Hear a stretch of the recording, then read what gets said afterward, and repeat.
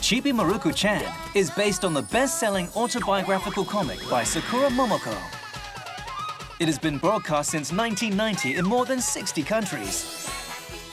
Chibi Maruko-chan is one of Japan's top-rated animation series. It has also been cinematized. Nine-year-old Maruko is a little bit lazy, but she is a kind girl, full of curiosity about interesting things.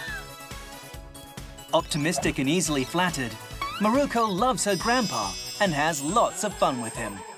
Her best friend Tamae is kind and has a sincere heart and is always on Maruko's side, even when Maruko says something weird.